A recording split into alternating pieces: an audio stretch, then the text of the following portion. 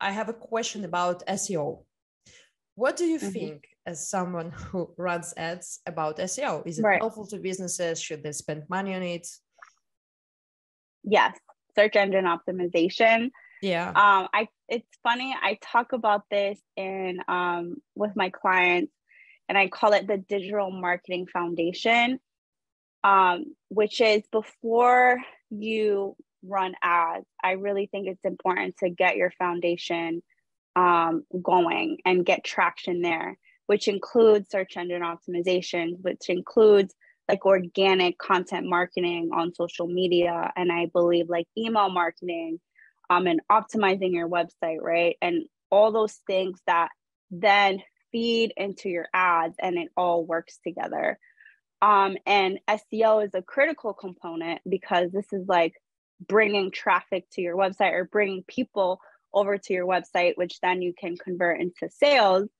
Um, and I think because there's the notion or like misconception that SEO is dead, right? People are like, well, well, or they just they're like just the sound of it sometimes scares people right i know you probably experienced that where they're like seo Yeah. Email marketing is dead.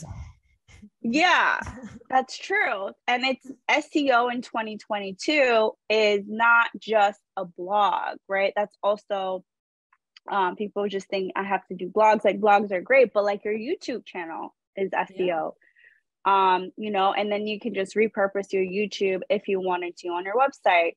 Or you could use Pinterest for search engine optimization. That's a huge search engine that people re- they think of it as social media, but really you can drive a lot of people to your website using Pinterest.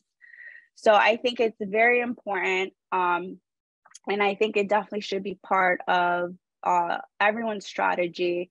It's just going to look different depending on your business and your goals, but it definitely should be part of your strategy um, in 2022, 2023. And, you know, Google's not going away. So That's true. for Bing, Yeah.